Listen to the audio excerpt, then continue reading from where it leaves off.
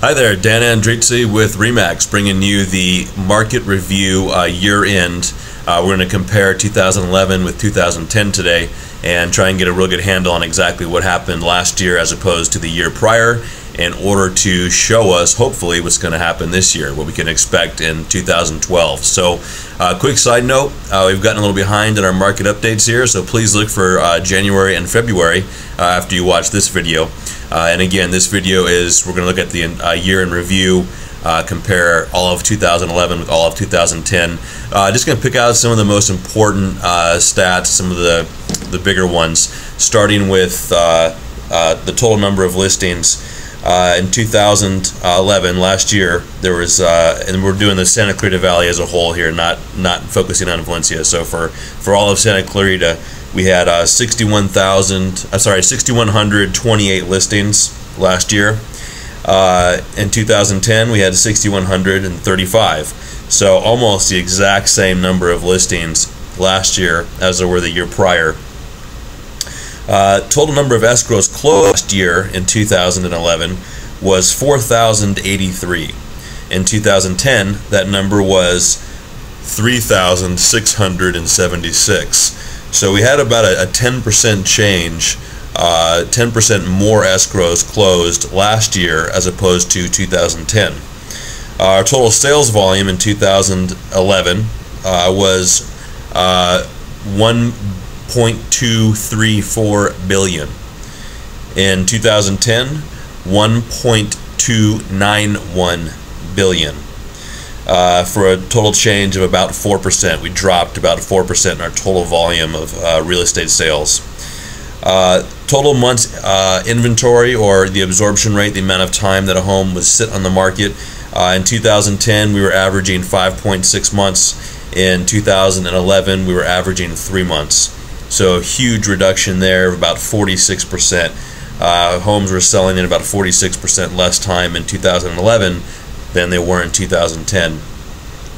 Uh, our average sales price in 2010, this is interesting, uh, I'm sorry, in 2011 was $315,000. However, in 2010, it was $353,000. So we're looking at about a 10% drop in the average sales price.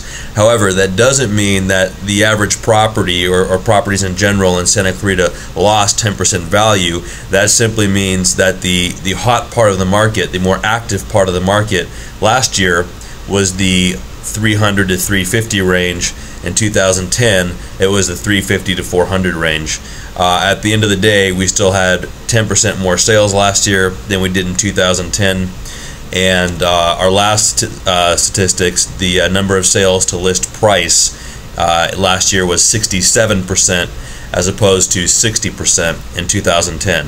So an extra 7% of homes actually sold at or above list price last year as compared to the year prior.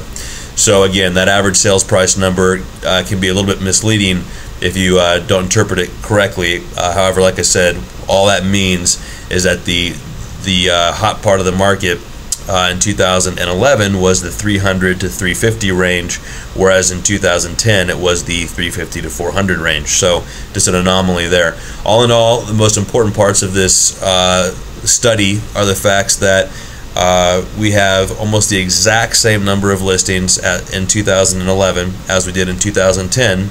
However, we sold about 10% more of those, and about 7% more of those sold at or above list price.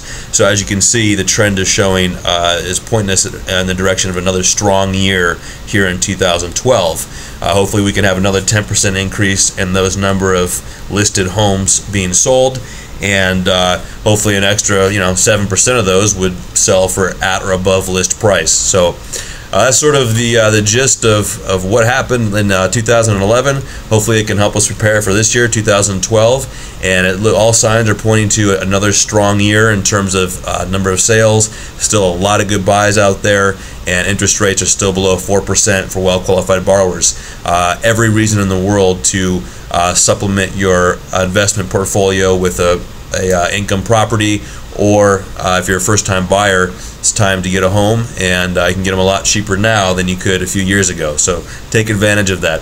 Uh, if you have any additional questions, my website is danielsellsscv.com. My cell phone is 661 904 3736. Please feel free to call me anytime and I'll be happy to chat with you. Have a nice day. Bye bye.